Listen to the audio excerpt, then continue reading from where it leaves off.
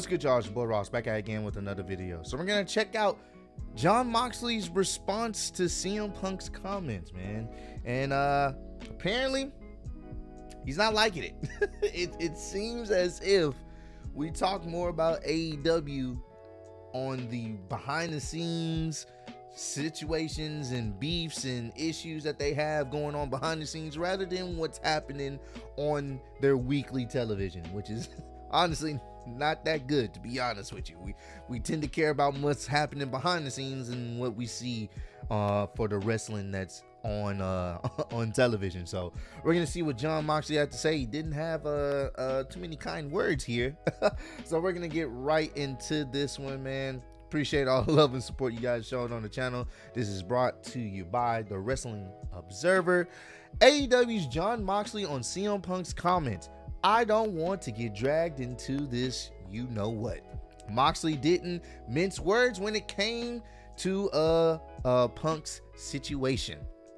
Former AEW World Champion Jon Moxley spoken about uh, CM Punk's recent comments about their title program last August and how Punk thought Moxley Rocky 3 idea for uh for their uh for their clashes sucked. he also had some thoughts on the backstage drama in AEW. On this week's uh, session with uh, Renee Paquette, uh, Moxley talked about the Instagram post where Punk claimed Moxley didn't want to lose him.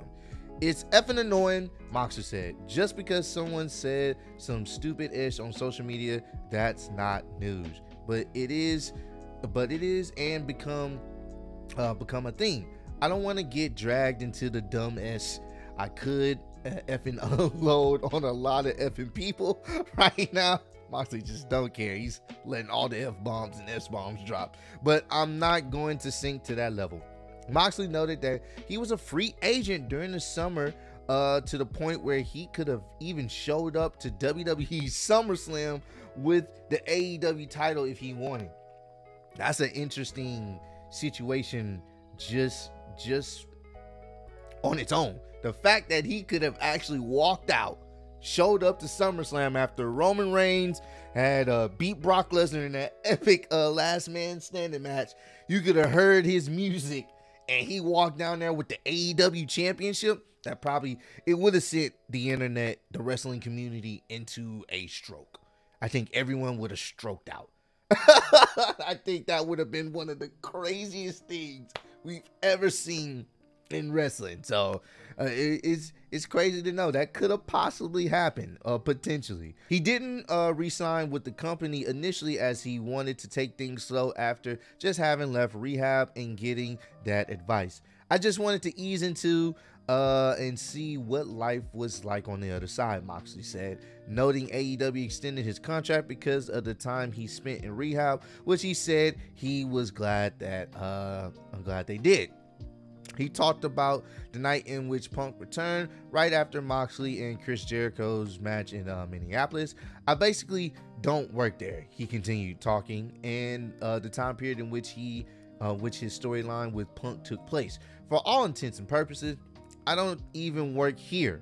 Tony Khan is not my boss. I don't even have to be in uh in this room. I don't have to do S. So even me being in this room offering and agreeing to a storyline that puts you over on the pay-per-view, if anything, I'm bending over backwards for Tony and for this dude in the company and everybody. I didn't have to. I didn't have to do S. So that's it. So basically, what he's talking about is pretty much when the match was uh, uh, going to happen before their pay-per-view match he's saying i didn't have to do nothing. I, I really didn't have to do anything for anybody because technically i didn't work there. You know i'm saying? I was only doing a favor for tony khan so i didn't have to do anything of the sort. But it still always is weird to me because it's like i don't understand why they had the match two weeks before they were going to have the match on pay-per-view. I, I, to this day that still just didn't make sense. Um, Moxley uh, uh, later added um, that while he was having fun and focusing on the positives in his life, he can't help but wonder why some in AEW complain on social media.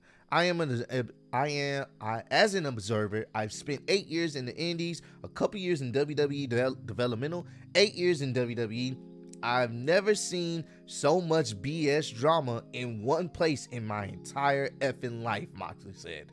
That's a big thing coming from one of your top guys. I hate to say that, and I don't know if it's uh, because of the age of social media, it's getting blown out of proportion. Like one person posts a drunk tweet, and all of a sudden it's all everyone talks about. He is frustrated that instead of talking about things like Kenny Omega and El Hido, El Hido, I, I'm I'm probably mispronouncing it. I'm sorry, El Hido del uh, Vikingo. I don't. I don't I'm. I'm. I'm mispronouncing that. Vikingo or Revolution. They're all talking about controversy. Let me be clear. The vast majority of people there don't cause any problems there, but they're getting sucked down into this edge like everybody else. There's plenty of people who want to get uh, better and perform. Moxley resigned with AEW last year to a five-year contract. Back uh, Blackpool Combat Club are set to face uh, Dalton Castle and the boys on Wednesday on uh, Wednesday's Dynamite. Yeah, it's crazy. Your top guys even commenting on so much of the backstage drama and issues. And like I said at the beginning of the video, it seems like people care more about the drama and issues and the tweets than the actual wrestling on the show. That is a very, very crazy thing. And honestly, it's, it's not a good look. I think Tony Khan really needs to have that sit down with the locker room and, and assert who he is. He is the boss. He is the boss. He needs to get a hold on these things. The crazy thing is, and I know some people want to sit up there and you know they they talk about how uh Vince McMahon was or whatnot. The one thing Vince McMahon made sure that everybody was on the same page. Even if there were some discrepancies, you didn't really hear about it too much unless it got leaked out. It was always Vince McMahon made sure, hey, this is how we running this ship. Either get with the program or you're gonna have to get out. That's just what it was. And I, I see the same happening with Triple H running things in the back. Like, hey, this is how we're going. You know, you can you can air your grievances, but hey, either you get it together or you won't be seen on TV. Like Vince McMahon felt like the boss. Triple H feels like the boss. Tony Khan, unfortunately, he doesn't feel like the boss. He feels like he's just, you know, he, he has the money, you know, he's the billionaire, you know what I'm saying? But he doesn't feel like the boss. He feels like, and I hate to say this, he feels like one of the fans. he does. He operates. I've never seen someone own a company tweet so much. And there's nothing wrong with tweeting, but Vince rarely tweeted. Triple H rarely tweets unless it's to promote the show or promote an event, he rarely gets into the trolling because people troll Vince, people troll Triple H, people troll Stephanie. But when you're of that stature and you own this multi million, billion dollar company, people expect you to handle yourself accordingly.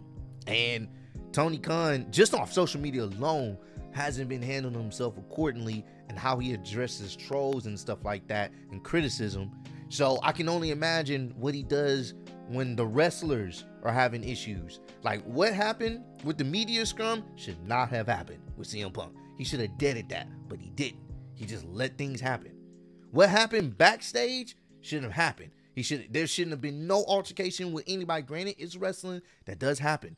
It's always been like that. Don't get it twisted, y'all. Just because it wasn't talked about or there was no social media back in the day. No, people were always having fights with each other. But you rarely heard about it. You hashed it out. You got it through and you moved on. None of this should have happened. What we're seeing and how people are feeling, Jon Moxley is saying it himself. There's a lot of a lot of messy stuff going on behind the scenes that's getting posted, that's getting leaked, that's getting sent out. And now people got to defend themselves and now it's all the drama. People care about the drama more than the actual wrestling. MJF is your world heavyweight champion.